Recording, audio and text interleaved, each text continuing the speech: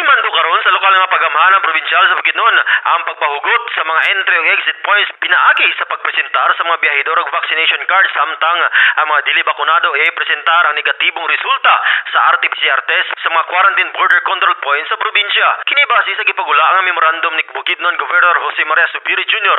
kung asa direkta niining gitahasan ang labaw sa Philippine National Police Region 10 tanang city and municipal police stations, chief of police ug mga personahe sa tanang quarantine border control checkpoint sa pagpatuman sa gabayan. Alayon kini sa pagpailam sa tibok probinsya sa alert level 3 gikan atong Enero 16 hangtod Enero 31 ning tuiga. Gumikan sa subling pagsaka sa kaso sa COVID-19 sa probinsya. Samtang padayong panawagan usab sa lokal nga pagamahanan ng pagsunod sa mga health protocol guidelines o ang pagbabakuna batok COVID-19 aron mahilayo sa makamatay nga virus. Kabrigada sa bisan unsang matang sa balatian tumarog Power Cell Herbal Capsule aron ikaw maulian kaysa Power Cell Herbal Capsule tuldukan ang sakit. Brigada Dablo alang sa 102.5 Brigada News FM Cagayan de Oro. The Music News Authority.